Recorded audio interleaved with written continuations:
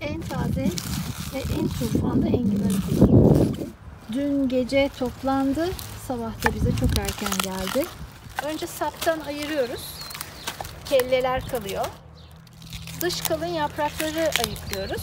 Sonra onu dörde bölüyoruz. Bunun içerisinde sakallar vardır. O sakalları şöyle nazikçe alıyoruz.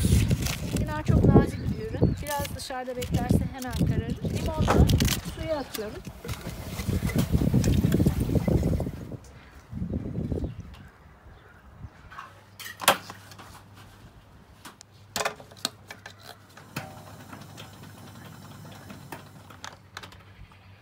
Burası bizim işte açık havada üretim alanımız.